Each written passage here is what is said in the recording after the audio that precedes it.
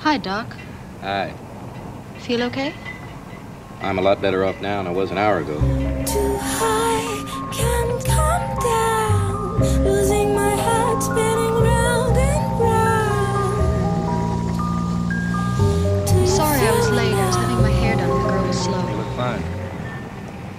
With the taste of your lips, I'm on the ride. Where do you wanna go? Take a walk.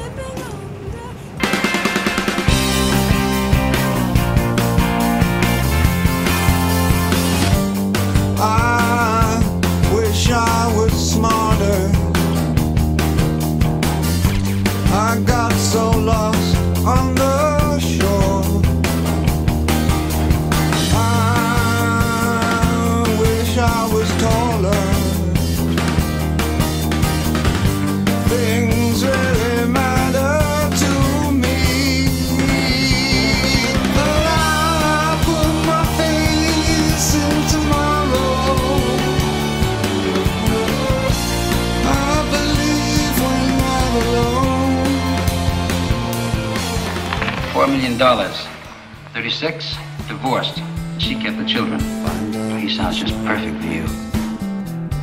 Didn't think to look at Go. me. Three years ago, when I was shooting a uh, documentary on the making of Le Mans, my dad's film, she came to Le Mans Classic and we met there for the first time. Through a mutual friend of ours, Claude Dudouis, just a couple months ago, she came to California for the first time to the car show we do in my dad's honor in Chino. So I'm on my way to Le Mans, and when we were in Los Angeles, she'd asked if I'd come to her opening, and I, I didn't call anything. I, I kept quiet, and here I am. But we love her.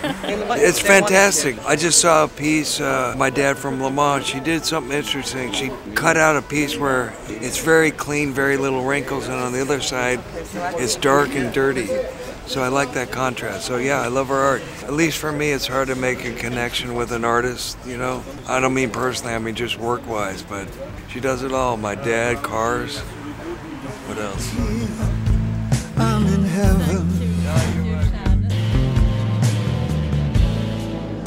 I've got scars that can't be seen. I've got drama can't be stolen.